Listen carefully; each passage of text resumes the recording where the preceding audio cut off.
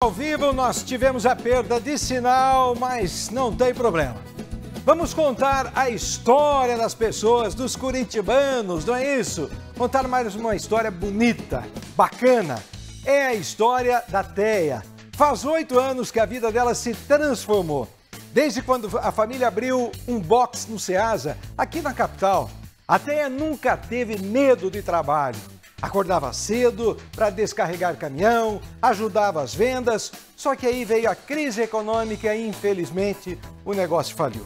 Foi difícil? Sim, claro que foi. Para Teia e para tantos outros curitibanos ou pessoas que para cá vieram.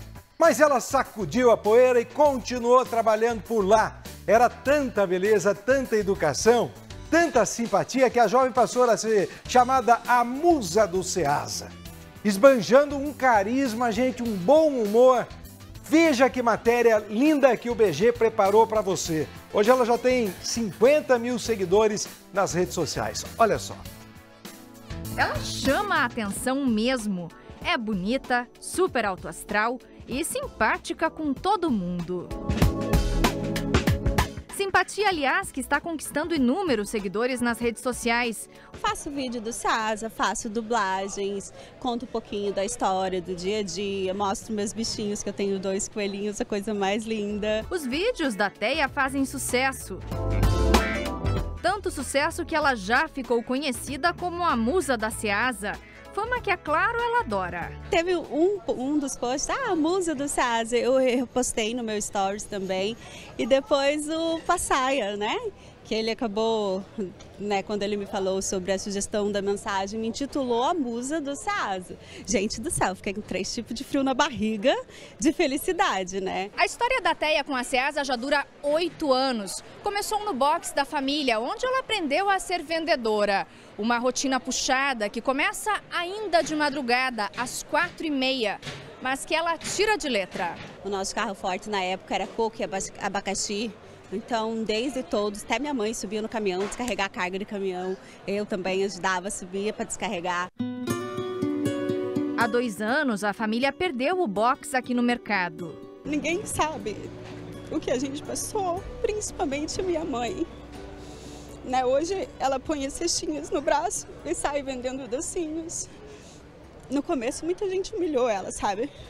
Eles diziam, ah, não era a dona Cleusa da abacaxi, tá vendendo doce agora? Foi um baque, mas todos deram a volta por cima. Até a seguiu como vendedora e das boas, viu? O meu jeito aqui é bom dia, vizinho, bom, o que, que vai lá hoje? Às vezes eu chamo os vizinhos de anjo. Eu tento passar um pouco dessa alegria para os clientes, para cativar os clientes, para eles virem comprar com a gente e não só vir, mas voltar. Como vendedora, bem desenvolvida, bem, bem comunicativa, simpática, é meu anjo daqui, meu anjo dali, sempre trata todo mundo bem, independente de ser um carregador, de ser um, um vendedor, um patrão, ela sempre teve o mesmo movimento, sempre. E a força de vontade e a determinação dessa mulher de 32 anos, que sempre batalhou pelo que quis, deixam a mãe toda orgulhosa. Aonde passa, contagia alegria, né? É uma menina muito feliz. Ela gosta muito de trabalhar aqui gosta muito das pessoas e, e eles também gostam muito dela. A Teia sonha alto. A fama nas redes sociais é só o primeiro passo para o sucesso que ela tanto almeja. O que traz alegria pra gente, deu uma borrada básica na maquiagem, desculpa.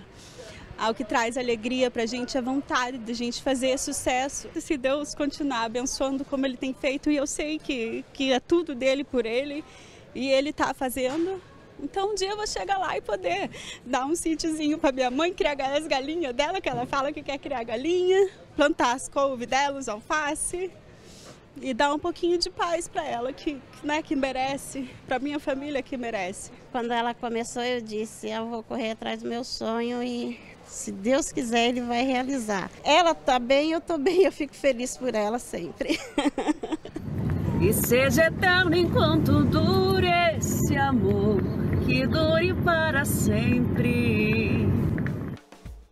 Que legal, parabéns, Teia. Você representa muitos curitibanos que lutam todos os dias, que amanhecem, não é? E não desistem mesmo diante das dificuldades muito grandes. Parabéns mesmo.